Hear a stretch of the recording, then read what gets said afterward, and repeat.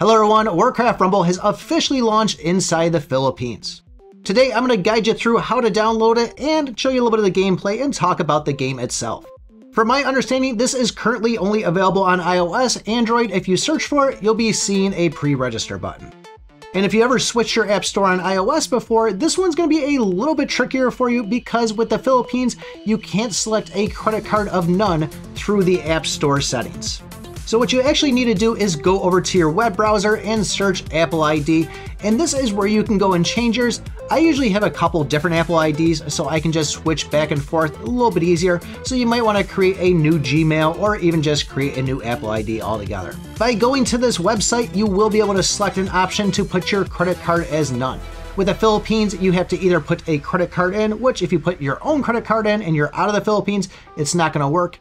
You could go and link up a Gcash or a Shopee, but both of these are requiring a phone number that's actually registered inside the Philippines.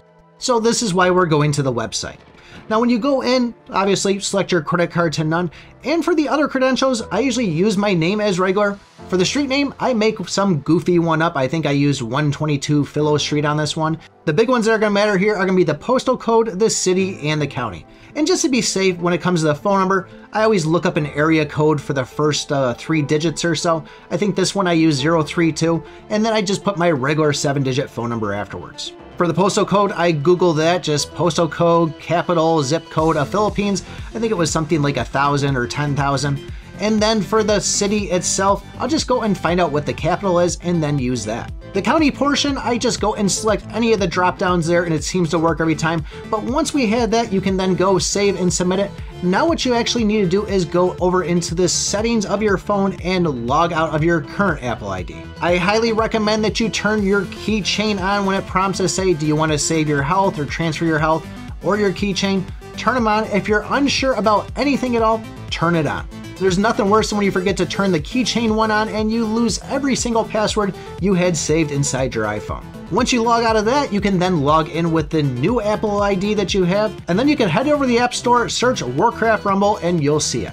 There's not a VPN that's extra required on this, this will work just fine like this. And once you download it, there's no need to stay logged in on this, you can go and switch back over to your regular Apple ID. I haven't played Clash Royale in a while, but I would put it on point with this type of gameplay. There's a couple of extras in there. For example, you can have a miner to go over these gold ores and mine them, get some ore out of it, and there's even chests that'll pop up every now and then where when destroyed, you'll get a certain amount of gold. There is what I would call midway markers on it, where it's kind of a point where once you take it over, you can go and spawn your troops a little closer to the enemy, and those can be battled back and forth to whoever wants to own it. And these also come in forms of towers, ballistas, and I imagine there's probably a ton more. I'm still pretty new to the game myself. My progress so far is I am on the second region and I did unlock the PvP. I will say this game is pretty fun, but it hasn't really been anything yet that extremely wowed me, although once I get done with this video, I will go back to playing it. So far, the only thing I've encountered is two different paths that you can go on, and there is these selector arrows on the screen that you can go and tap to change the direction of which way you want to go. So far, the directions for me have only been in two different ways.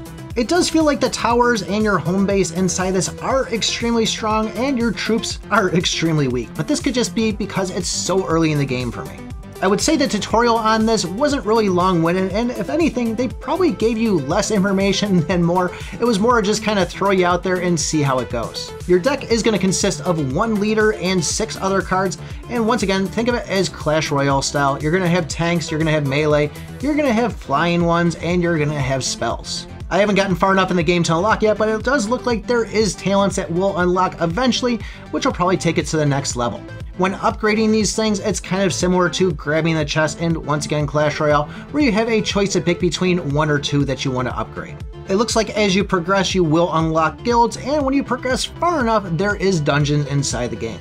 When it came to the PvP, it really didn't feel too much different from playing the campaign itself, but I think that's because it's so early in the game and I'm probably playing a good amount of bots. I do like the graphics inside the game, and sometimes it did feel a little choppy, but I think that might just be related to cell phone reception and just day one launch. But overall, this is actually a fun game, and I'm kind of curious to see what else comes along as I unlock more, and looking to see what they bring in future updates. As I said, think of it as Clash Royale with some extra stuff inside it with a little bit of a Blizzard twist on it. If you want to know what's going on inside the game Snaker right now, or check out the new mode and Matchmasters, check out these videos right up over here.